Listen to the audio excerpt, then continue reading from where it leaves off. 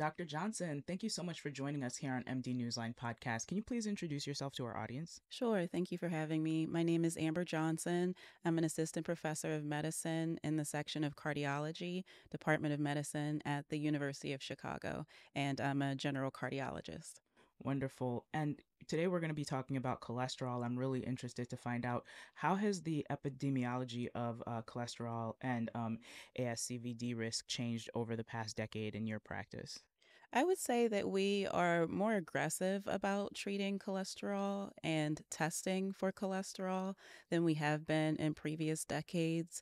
We have the data, years, decades of data that show us that um, LDL cholesterol, which is considered the bad cholesterol, is linked with cardiovascular events. And over the past decade, we've been more aggressive about trying to get those numbers lower. And among your patients, which lipid abnormalities like elevated LDLC, non HDLC, triglycerides, things like that, are um, driving most of the residual cardiovascular risk that you see?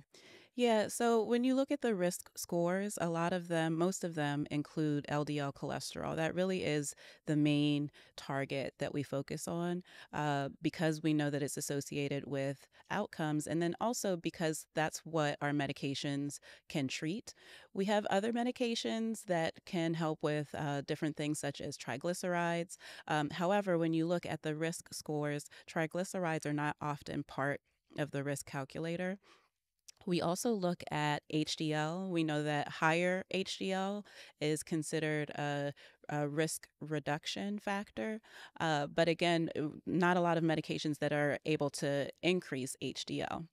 Um, one other risk factor that I sometimes will test, especially for women, is a high sensitivity CRP.